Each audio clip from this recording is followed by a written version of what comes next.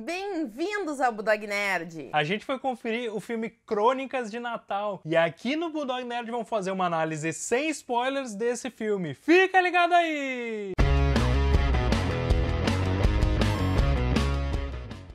E nesse filme a gente vê dois irmãos, né, que ajudam o Papai Noel a salvar o Natal. Esse é um filme do Netflix e assim, a figura central desse filme, que é o Papai Noel, é o Kurt Russell. É, o que já indica que apesar de usar algumas fórmulas conhecidas de filmes natalinos, esse vai ser um filme com um toque um pouco diferente, porque a gente tem esse Papai Noel da pá virada, loucão, né? E esse filme ele é construído com muitas referências a outros filmes, como Esqueceram de Mim e curiosamente aos Gremlins. É, inclusive o produtor do filme, que é o Chris Columbus, que aliás vai estar na CCXP 2018, né? Ele foi diretor do Esqueceram de Mim e roteirista do Gremlins, né? Então a gente realmente vê algumas referências propositais aqui nesse filme. E eu acho que o que dá um tom muito diferente para esse filme é realmente o personagem do Papai Noel feito pelo Kurt Russell. Que assim, ele é meio marrento, é meio radical, assim, e ele às vezes não tem um comportamento muito exemplar, mas tu vê que ele tem um ótimo coração. Então, assim, a gente fica apaixonado pelo personagem. É, ainda assim o roteiro vai ficar preso em alguns momentos aqueles clichês de filmes de Natal, aquelas fórmulas, né? A gente seguidamente vai ver referências que a gente já viu em outros filmes clássicos de Natal, mas apesar disso, o filme realmente é muito bom, né? E assim, de atuações, sem dúvidas, o nosso destaque vai pro Kurt Russell. Acho que aqui ele realmente dá o diferencial pro papel. Eu acho que se fosse um Papai Noel comum, o filme ia ficar mais sem graça. Então, realmente, ele tá um espetáculo aqui, ele tá muito à vontade no papel. E as crianças estão com uma atuação ok, assim. A menina ainda é bem carismática, assim, mas a atuação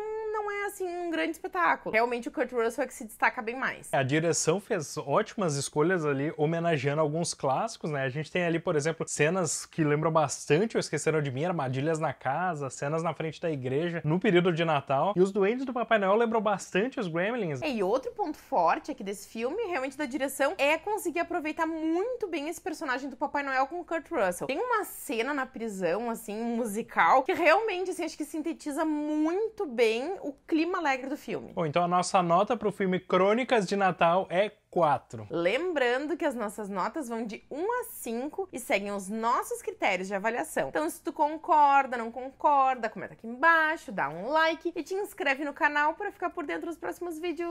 E até a próxima!